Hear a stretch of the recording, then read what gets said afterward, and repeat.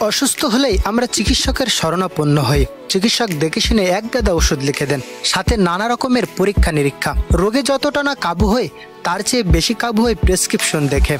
তবে এবার আর ওষুধের নাম লিখছেন না চিকিৎসকরা। লিখে দিচ্ছেন অন্য কিছু। চিকিৎসকরা এবার ওষুধের পরিবর্তে লিখে দিচ্ছেন, সাইকেল চালান, সাঁতার কাটুন, ব্যায়াম করুন। এভাবে বিকল্প চিকিৎসার ফর্মুলার দিকে ঝুঁকছেন অ্যালোপ্যাথিক চিকিৎসকরা। শুনতে অবাক লাগলেও ইংল্যান্ডের পারিবারিক চিকিৎসকরা রোগীদের সুস্থ রাখতে এমন কর্মসূচি হাতে নিয়েছে।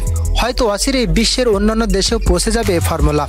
কেননা ইংল্যান্ডের ওয়েলসে এ নিয়ে শুরু হয়েছে একটি কর্মসূচি। কর্মসূচি হলো রোগীদের সুস্থ রাখতে ওষুধের বিকল্প খোঁজা, যেমন প্রেসক্রিপশনে লিখে দেওয়া হচ্ছে, যান সাইকেল চালান।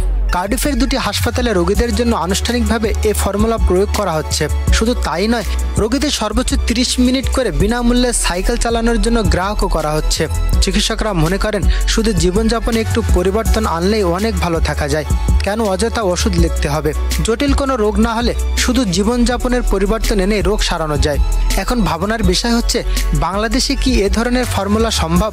বাংলাদেশের কোনো চিকিৎসক কি এ ফর্মুলা অনুসরণ করছেন? নাকি প্রেসক্রিপশনের মতো আইনি কাগজে সাহস দেখাচ্ছেন তারা। তবে ভারতের চিকিৎসকরাও এ পথে হাঁটতে শুরু করেছেন। ইংল্যান্ডের এই প্রেসক্রিপশনকে অনেকেই অতি আধুনিক প্রেসক্রিপশন বলছেন। কারণ অনেক ক্ষেত্রে ওষুধ লেখারই প্রয়োজন নেই। বরং সকালে হাঁটুন, সাইকেল চালান, সাঁতার কাটুন, লিফট ছেড়ে সিঁড়ি দিয়ে ওঠানামা করুন, কায়িক পরিশ্রম বাড়ান, এসব মানলেই ভালো কাজ হয়। ফলে অহেতুক ওষুধের পেছনে খরচ বাড়িয়ে লাভ কি?